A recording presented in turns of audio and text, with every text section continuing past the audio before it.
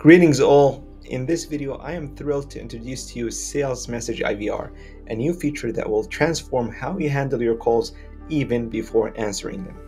IVR stands for Interactive Voice Response. Simply put, it is your automated phone assistant that would listen to your customers, understand their choices, and swiftly guide them to the right team.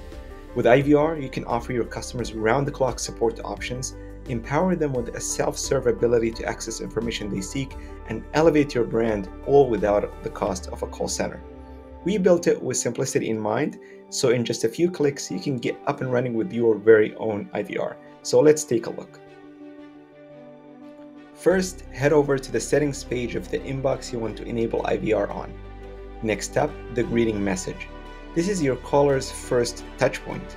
To add a greeting, you can record a fresh message on the spot, upload one you have prepared earlier, or even use our lifelike text to speech voices.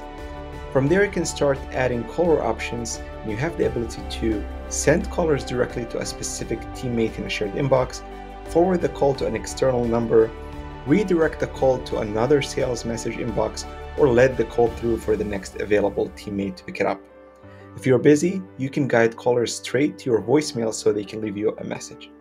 And there you have it. In just a few steps, you can set up a top notch IVR experience for your callers. Dive in today and give it a go.